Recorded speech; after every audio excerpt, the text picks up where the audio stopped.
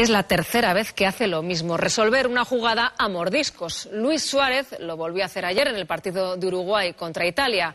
Al jugador le han abierto un expediente disciplinario. Y no solo eso.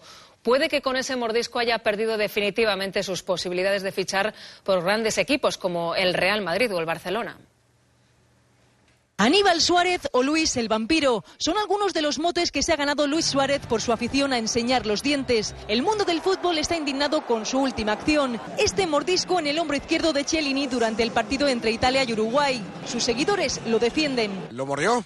Eh, no, se chocó. No, que va a morder. Pero su arranque carnívoro ya tiene consecuencias. La FIFA ha abierto un expediente disciplinario al delantero. Incluso algunos medios ingleses están hablando ya de la posibilidad de que el propio Liverpool eh, quiera dejarle marchar. Esta no es la primera vez que el uruguayo tira de colmillo. Siendo jugador del Ajax, Luis Suárez cincó el diente en el cuello bacal durante un encuentro de la liga holandesa. Fue sancionado con siete partidos, pero parece que el castigo no le quitó el hambre. En un partido contra el Chelsea, Suárez volvió a morder en el brazo a Ivanovic. Yo le aconsejaría que, que realizara algún tipo de intervención con algún psicólogo para conseguir controlar sus impulsos y regular sus emociones. Un mal pronto que podría arruinar su carrera deportiva. Tanto el Real Madrid como el Barça están interesados en fichar al uruguayo, pero tras la última dentellada, los clubes podrían retirarse de la puja. Si pones por un lado lo buen jugador que es y por otro lado lo que te va a costar y los partidos que se puede perder, yo no ficharía ahora mismo a Luis Suárez. Mientras se disipan las dudas sobre su futuro, las bromas inundan las redes sociales. Hola Luis Suárez, si te quedas con hambre, ven a darle un mordisco a un Big Mac. El jugador tiene hasta las 10 de esta noche para presentar alegaciones y justificar lo injustificable.